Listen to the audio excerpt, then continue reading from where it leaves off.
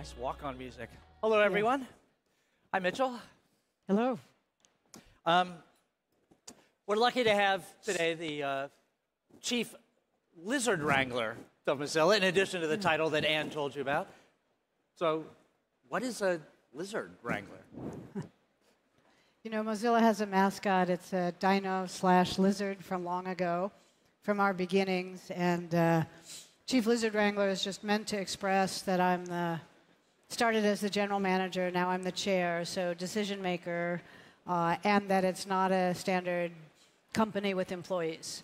Mozilla is a nonprofit, it's always had volunteers, and the leadership role is management of employees, but leadership for a set of people who aren't employees. And so they have to choose to spend time and energy because they think Mozilla is useful to their goals. Uh-huh. And that's different than being a manager with all the tools of employment. So Okay, all that's the beginning. All right, good. So, um, well, that skill I'm sure comes in handy, managing reptiles of all kinds. Um, I hope so. I, I, I'm not sure that everybody in the audience knows the difference between Mozilla Foundation and Mozilla Corporation. Could you explain a little bit how, about how it works, where the money comes from, Sure. what it is that the, the purpose of the organization? Sure. So the Heart of Mozilla is a nonprofit with the mission of building the part of the internet that's a global public resource, one that's open and accessible to everyone, regardless of location or demographics. And so that's a classic public benefit mission. And so we're technically a 501c3 nonprofit, and, and everything we do is aimed at the mission. We have a more complex legal structure, partly because we do earn revenue through Firefox. And in the United States, the way you earn revenue is related to your nonprofit status. So everything rolls up to the foundation, but, but we have a corporation that produces Firefox and pays taxes and does all that stuff. Okay, But the- generally, we're all trying to build the mission.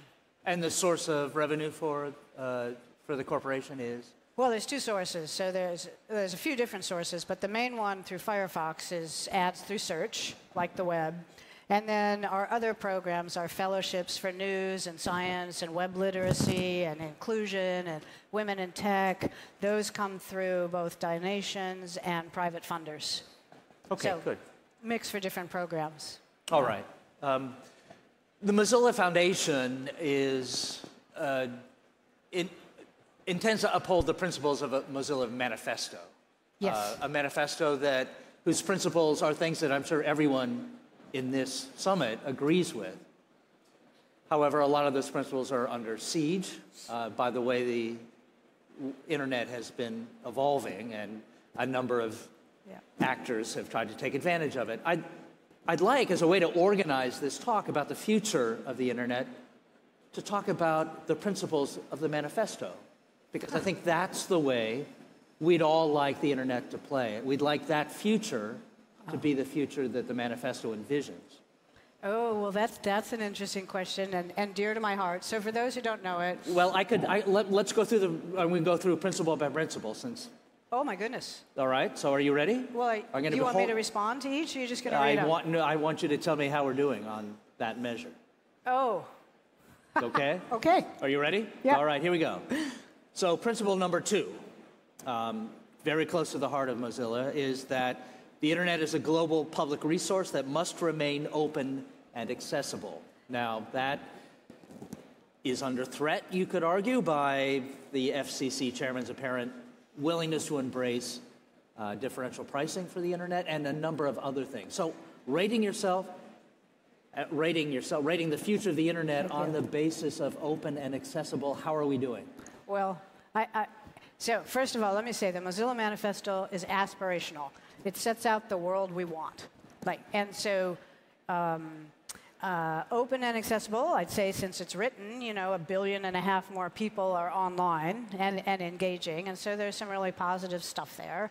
And of course, uh, is it really open? Mm, probably less so than it was.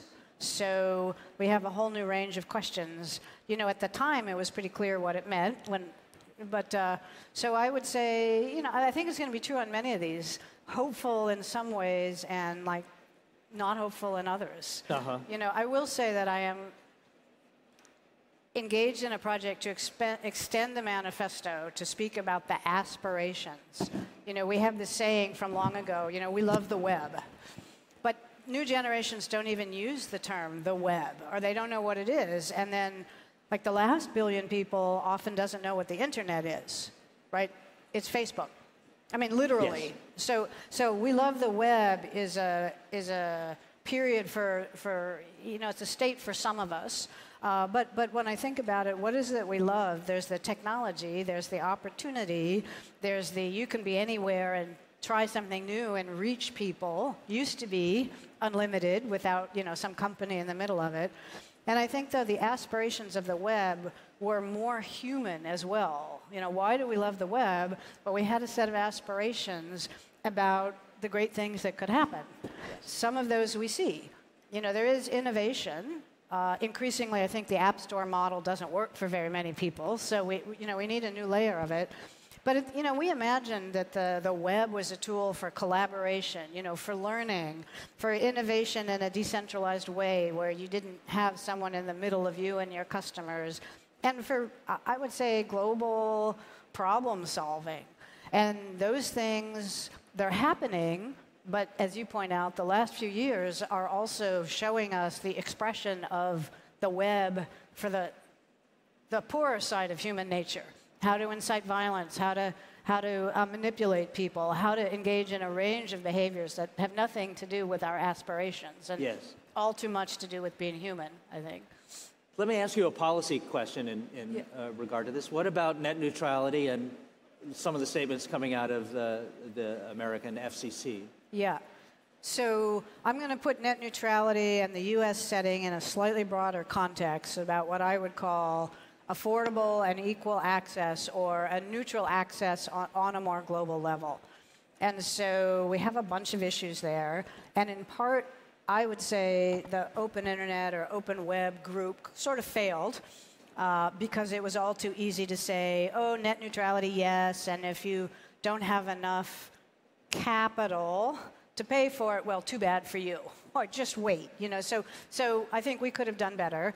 Uh, and so the response is now limited access globally and metered or differential access in the United States. Yes. You know, all of which I think is the easy way out, but not the right way out. Right. And and so for most basics, you know, many countries have a subsidized baseline level in electricity, sometimes in water, in the US in telephone service, might well be an internet service. Like the research that we've done uh, and that we've seen, particularly in India, which rejected uh, uh, Facebook controlled, you know, free basics kind of uh, system, was that, that people, including people with limited incomes who cannot afford unlimited access, what they want is their access limited by time but not by content. Uh-huh. Right, and so if you're actually going to sponsor some sort of baseline level, the key aspect is time, because human beings are smart everywhere, and if, if people can who don't have capital to pay, you know, have a limit and it's time, they can allocate according to what they need or what they want. Uh, and, and, so that's an issue that we just have to address with an active I think, an active will. And, and I would put the FCC, you know, it's at the other end of the spectrum of what happens to people who do have resources. Uh, and even if we are paying or paying a lot for the system, what do we actually get? And, and I think the FCC is heading back to a system the United States knows very well. We call it cable TV, and we hate it. And, and we know what it looks like. Uh, and uh, you know, allowing the internet to be converted into a 20th century model would, you know, it's going to be a real loss, and, and trying to recover from it will be long and steep. Just like I think the, the parts of the world that take the easier route, the free basics route, it will be a long recovery period for their citizens to actually understand the riches of the web or the internet and find their way into it. Great, thank you. Um, yeah. Another principle, principle number five, I believe, is individual security and privacy on the internet are at fundamental and must not be treated as optional. Would you say that the battle to preserve privacy on the web is already lost? Well, there's two things in there there's security and there's privacy. Yes. Uh, you know, I just wrote it originally with security because I thought your sense of security depends on, you know, your sense of privacy, but it's become important to identify them separately. So there's two things there. We have security issues and we have privacy issues. Uh, the security of the system is clearly inadequate, right, and being exploited by state actors, by black hats, by commercial organizations. And so I think we've seen in the last couple of years, we've seen the beginning of a serious effort to really address that. In fact, on center stage, you know, Brad Smith yesterday made a truly impassioned plea about cybersecurity and the role of citizens and corporations in really addressing the system-wide level. And, and that's an area where we have cybersecurity, and then it gets wrapped up with backdoors and encryption in very complex ways. And so it's easy to get distracted. Uh, and I think the path of the liberal Western governments to want to limit encryption so they can have backdoors is uh, deeply disturbing on two levels. There's the individual liberty that we think of as the heart of Western democracies, and yet we find them adopting statutes that sound like the statutes in China. you know, they're, they're very, very similar. So we have the concerns about the relationship of the individual to the state, but we also have the idea, you know, the, the reality that once you add a back door, and uh, it is very unsafe. And so we have the safety concerns, which have a deep technical aspect, uh, which I, I, think we're starting to actually re engage around. And certainly in the United States, it, it, we're limited because we end up in this fight where governments about national security crime, we need backdoors. And we, we're not making progress on the underlying cybersecurity issue because that knot is there. And so either we have to figure it out or some other part of the world, which isn't having that fight, needs to figure it out because the encryption piece is fundamental. Then we have the privacy piece. And I think for some generation, certain amount of privacy is, I think, gone. Like what the future is like and can we reclaim it or how do we reclaim it is, is an issue. And I, I think this attention economy and what we're learning about how easy the attention economy makes it to manipulate people, uh, that may be the thing that forces us to change. Right? It turns out lots of people say they want privacy, but most of us trade it for convenience and free things really quickly. And we haven't solved this abstract privacy convenience. But uh, tracking, manipulation, creation of civil strife, fueling both sides of an issue to create violence, those are much less abstract than privacy. And so um, those things may, in fact, help us figure out what we want to reclaim. Uh, because the attention economy is where all the money is right now and where the energy is and taking data you know to fuel that economy and sometimes i think are we creating an addiction economy?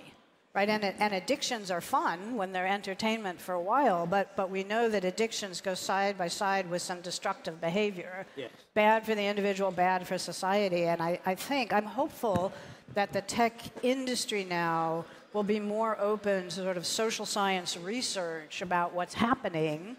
And I would love to be wrong that attention economy does not equal addiction economy.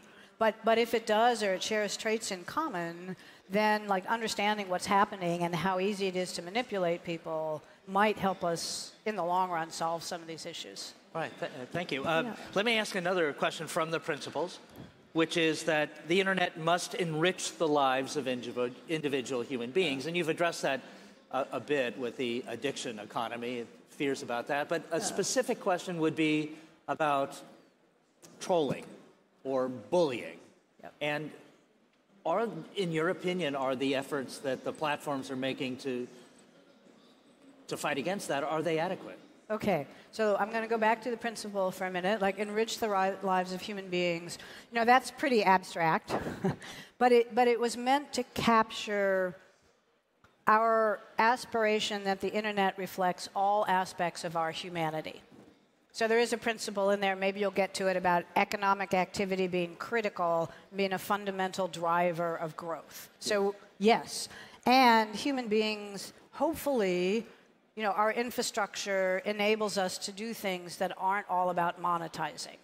You know, as a human being, some things I do are driven by purchases, and the fact that people want to monetize it is fine. But a lot of my relations to my community, or maybe it's my church or my faith or my kids or my hobbies, they're not, or, or, or my health or, you know, my relationship to my government, having all of that driven by how much am I monetizable with each click of it is not healthy. That we know. And so that principle was meant to reflect that, that the core of the technology, like, we aspire that it re- represents the breadth of humanity, whether or not it, it's generating revenue. So, oh, so okay. uh, you know, and we've seen some great steps forward in the last 10 years and then some really difficult things. So, to your particular point, uh, you know, I think we're actually only now just starting to understand the depth of both violence against women everywhere, anywhere, everywhere, uh, uh, uh just how completely pervasive it is. The violence against um, non dominant groups, you know, which varies depending on geography. The effort of state actors uh, currently Russia, but who knows who else, actually, right. uh, to manipulate people and to engage in propaganda. And uh, the effects of manipulation to keep people interested in. Right, the attention economy means you want people happy or engaged in your site. So we're only now beginning to understand that. And so at this point, I think it's pretty clear that the technical responses to it are early. You know, first there was denial.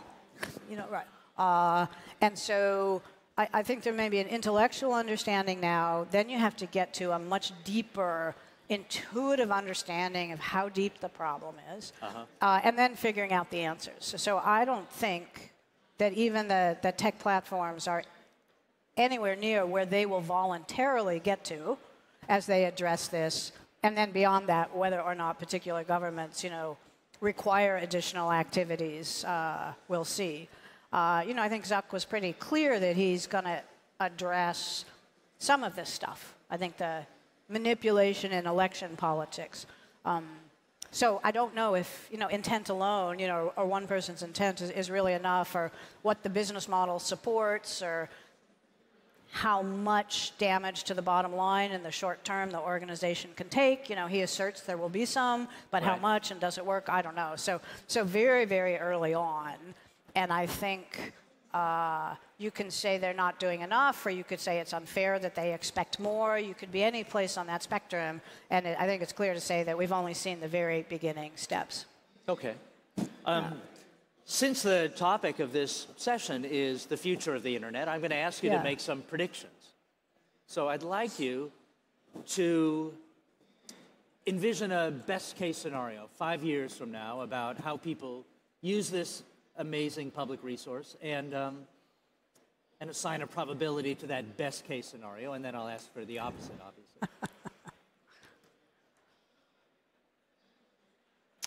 okay, best case scenario has a couple components, and one is that we learn how to adapt our technology so that it doesn't magnify hatred and violence.